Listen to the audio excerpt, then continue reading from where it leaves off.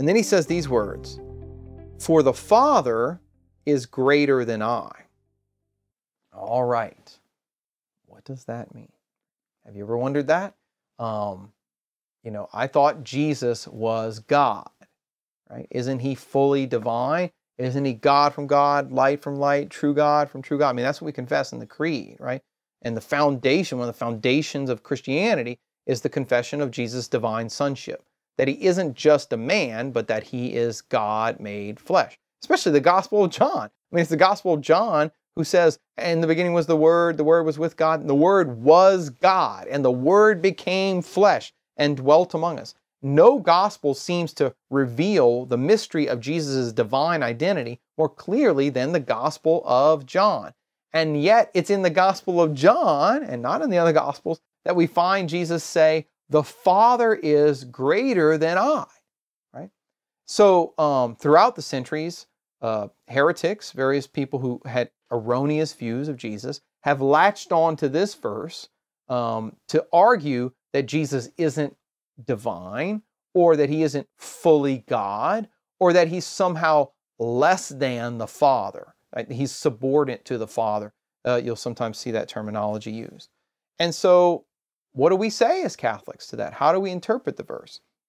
Well, the answer to that's really simple. We just ignore it. We don't talk about it. We don't preach about it. We just pretend like it's not there, right?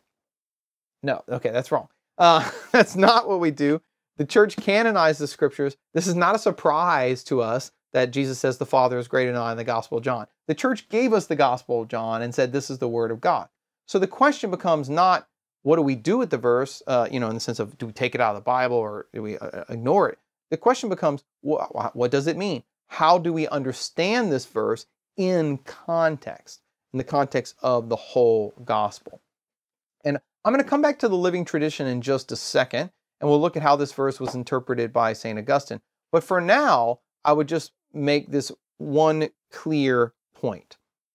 Um, in its broader context, this verse cannot mean that Jesus is denying his divinity because the whole Gospel of John is structured around revealing the fullness of Jesus' divinity. So the Gospel John begins by saying the Word was with God and the Word was God. So it, it begin, the first line says that the Word who became flesh is God, right? There's both a distinction, there's the Word and there's God, but there's also equality. He was God.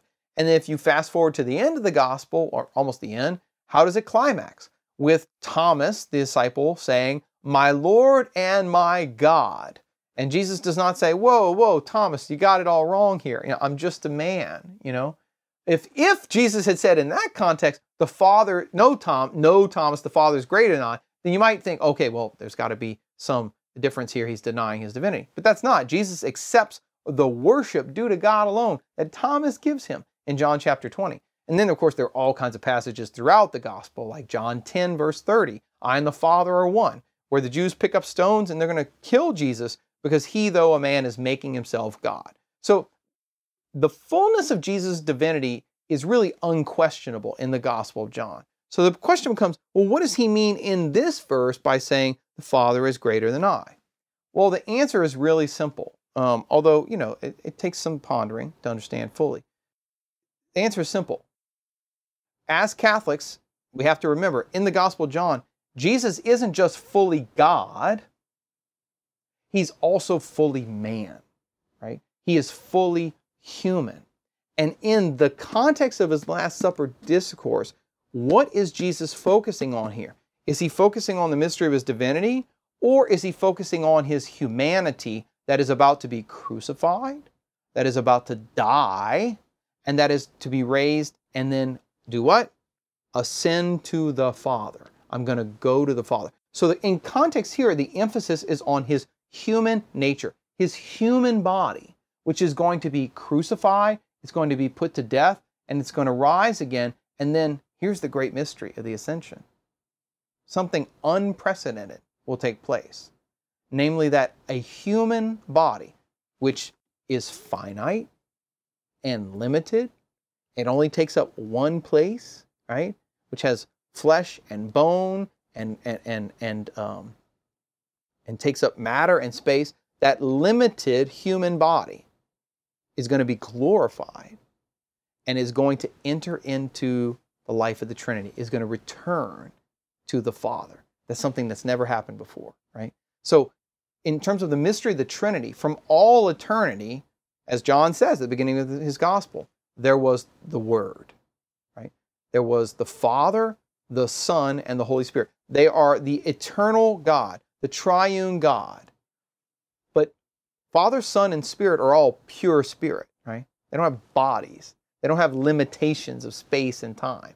They are the eternal triune God. But when the second person of the Trinity takes on a human nature, when the Word becomes flesh, as John says at the beginning of the Gospel, one of those persons of the Trinity assumes a finite, limited human nature, a hu- which means he has a body, he has a soul, a human mind, a human will, everything that there is about being human, which by definition means being limited, right, uh, is assumed except for sin.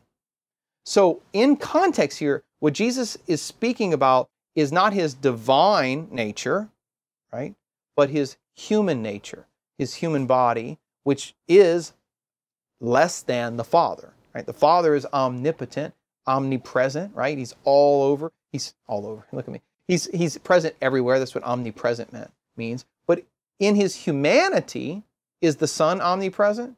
Well, no, right? He's omnipresent in spirit, but not in his body. His body is limited.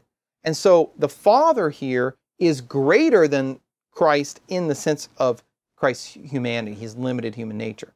And so what he's telling the disciples is if you understood this, you would actually rejoice because my human nature is going to be put to death. My human body will die, right? And it will be raised again, and then I will return to the Father. And you should rejoice at that because before the ascension of Jesus, there is no human being, right? No human nature that has been brought into the life of the triune God, Father, Son, and Holy Spirit. That union of God and humanity is something that takes place through the incarnation, death, and resurrection of Christ. It's the entry of Jesus into the life of the Trinity, not just in his divine nature, which has always been the case, right? He's always been united with the Father and the Spirit from all eternity in his divine nature but something new is taking place in the human nature that he's assumed in the incarnation. Now, if you, I guess I guess that maybe doesn't pass. I said earlier that it's really simple, so maybe it's not really simple. It is a mystery, but what I mean is that it's clear when you look at what Jesus' words are. It's clear what he doesn't mean in context. He's not denying his divinity. He's talking about his humanity. And whenever you look at the words of Jesus in the Gospels, always remember, uh, although we don't separate them, it's important to distinguish between sometimes he will be talking about his divine nature, other times he'll be talking about his human nature. And it's always crucial to kind of ask yourself which of those is he focusing on? Because there is a distinction between the two that's important to keep in mind.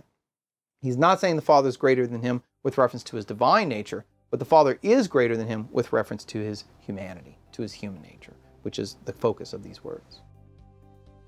Whew. Okay, Let's do something a little easier. Let's go to the Acts of the Apostles and talk about why we can eat crawfish.